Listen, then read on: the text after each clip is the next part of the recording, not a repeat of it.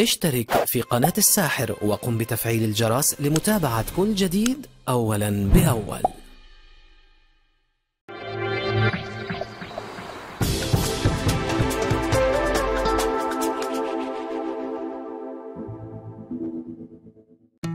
تصرفات عجيبة تفاجئك بها الفتاة بعد الانفصال.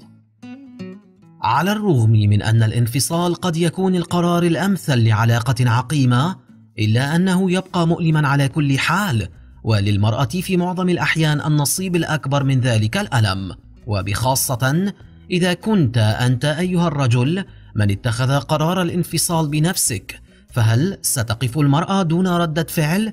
لا تتوقع ذلك. وكن مستعدا للمفاجآت في هذا الفيديو نعرض لك سبع تصرفات عجيبة تقوم بها المرأة كردة فعل مبالغ بها بعد الانفصال تابع معنا واكتشفها. أولا رقم هاتفك إلى سلة المهملات. غالبا ما تكون هذه هي ردة الفعل الأولى إذ تعمد الفتاة إلى هاتفها لتمسح رقمك اللعين منه فورا. لكن المضحك والمؤسف في آن معا هو أن مسح الرقم لن يغير شيئا في الحقيقة لن يغير ما جرى ولن ينسيها شيئا كذلك. كما إن الرقم سيظل في الغالب مخزنا في ذاكرتها لسنوات. ليس هذا فحسب بل إنها ستقوم بعمل حظر لك في كل مواقع التواصل الاجتماعي كرسالة تخبرك فيها كما قالت السيدة فيروز مش فارقة معاي ثانيا تفعيل مود الأحزان. تفرش أحزانها. تشغل الأغاني الحزينة وتغوص في بحر من الدموع. هكذا تفعل بعض الفتيات بعد انفصال أليم وقد يكون في الأمر شيء من المبالغة ولكن لا شيء يفرغ ما يكتنزه القلب من شحنات سلبية وذكريات وغضب مثل الدموع وقد تعود بعد بضعة أيام من رحلة الكآبة تلك منتعشة منطلقة للحياة وأكثر صلابة وقوة. ثالثا تستيقظ في اليوم التالي خبيرة علاقات بعد انفصال عصيب تتحول بعض الفتيات إلى خبيرة في العلاقات لتسدي نصائحها وعصارة خبرتها المريرة في ميدان العلاقات الشائك للقريب والبعيد وفي أي فرصة سانحة وتصبح العلاقات مادة الحوار المفضلة لديها ربما لتفكيرها المستمر في التجربة السابقة الفاشلة أو لتجنب من حولها من الأحبة والأصدقاء الوقوع في الحفرة ذاتها.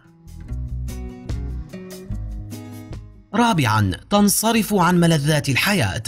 حين يجرح الحب هذا القلب الرقيق يبث فيه زهدا وترفعا مؤقتا ربما عن ملذات الحياة وبهرجتها. فتجد أن الفتاة بعد الانفصال قد تنعزل قليلا لتعطي عقلها وقلبها استراحة من كل شيء وبعيدا عن كل شيء.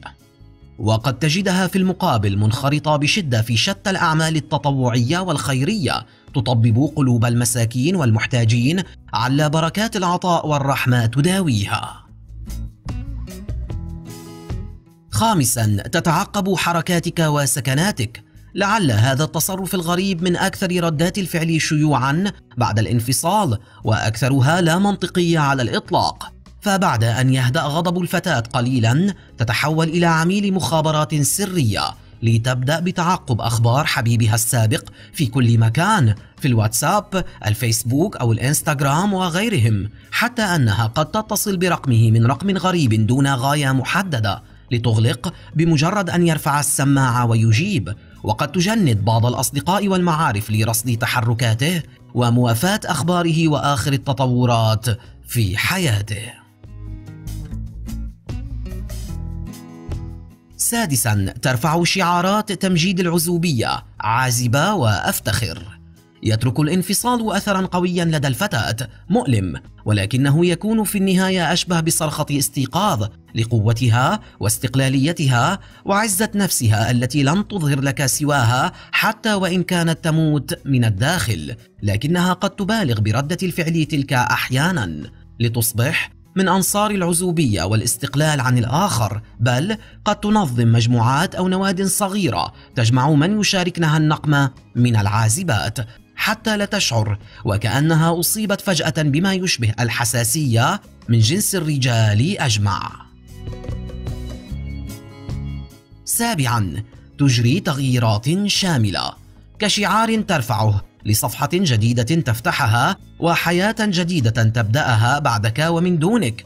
تميل الفتاة إلى تغيير مظهرها وتجديد قصة شعرها أو صبغه بلون مختلف وتجربة ملابس وأزياء مختلفة والاعتناء أكثر بجمالها وأناقتها. لا لشيء سوى التجديد النسيان والانتقام أحياناً. اكتب لنا في التعليقات رأيك بما شاهدت للتو. ولا تنسى دعمنا بتسجيل الإعجاب ومشاركة الفيديو عبر مواقع التواصل الاجتماعي. كما لا يفوتك الاشتراك في القناة وتفعيل الجرس لمتابعة فيديوهاتنا القادمة فور نشرها. أما إذا أردت مشاهدة المزيد فاختر واحدا من الفيديوهات المقترحة التي تظهر على الشاشة أمامك الآن.